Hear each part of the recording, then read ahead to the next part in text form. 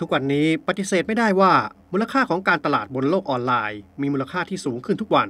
เพราะการซื้อสินค้าบนโลกออนไลน์นั้นเป็นเรื่องง่าย เพียงแค่คุณเข้าไปดู แล้วคลิกสั่งซื้อจากเว็บไซต์ที่จำหน่ายสินค้าต่างๆ แต่คุณจะมั่นใจได้อย่างไร ว่าสินค้าเหล่านั้นจะได้คุณภาพเหมือนที่โฆษณาบนเว็บไซต์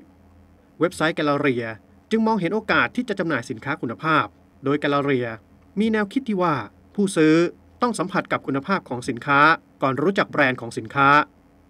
อภินันท์นินเวศผู้ให้กำเนิดเว็บไซต์ Galleria ได้ให้สัมภาษณ์ว่าที่ตั้งชื่อว่า Galleria เพราะว่าผมอยากให้มันเป็นเหมือนแกลเลอรี่เป็นเหมือน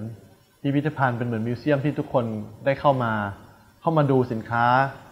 แล้วก็ได้รับแรงบันดาลใจออกไป คือไม่จำเป็นว่าต้องเป็นแค่คือเข้ามาซื้อสินค้าอย่างเดียว แต่สามารถเข้ามาเสพงานศิลป์ได้ศิลป์ก็คืออาจจะเป็นสินค้าหรือเป็นศิลปะก็ได้ ทุกวันนี้แกลเลอเรียมีผู้เข้าชมเว็บไซต์ประมาณ 20,000 วิวต่อวัน อภินันท์บอกว่า แม้จะไม่ใช่ยอดวิวที่เยอะสักเท่าไหร่ แต่ศักยภาพจากยอดสั่งซื้อนั้น เป็นเครื่องการันตี ถึงความเติบโตของเว็บไซต์แกลเลอเรียเพราะคนที่เข้ามาดูนั้น ส่วนใหญ่ตั้งใจมาสั่งซื้อสินค้าโดยตรง อภินันท์ยังกล่าวอีกว่า เป้าหมายต่อไปของเขา คือการผลักดันสินค้าคุณภาพ โดยฝีมือคนไทย ให้เป็นที่รู้จักในตลาดการซื้อขาย โดยผ่านเว็บไซต์ Galleria นอกจาก Galleria จะเป็นช่องทางสำหรับจำหน่ายสินค้า ยังทำหน้าที่เป็นที่ปรึกษาให้กับคุณ เพียงแค่คุณนำสินค้าหรือผลิตภัณฑ์ มาผ่านการตรวจสอบคุณภาพกับ Galleria ถ้าสินค้าของคุณผ่านการตรวจสอบ Galleria จะวางแผนการตลาดให้กับสินค้าของคุณ